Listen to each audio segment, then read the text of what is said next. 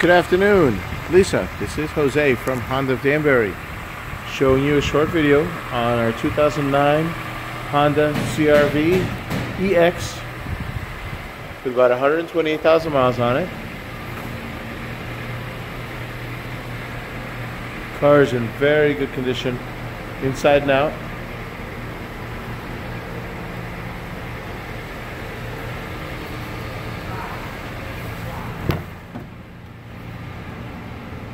Very clean interior.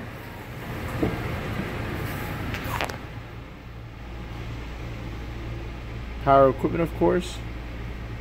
CD. Power windows and doors. Tires are in excellent condition. I hope you enjoy this short video. Thank you.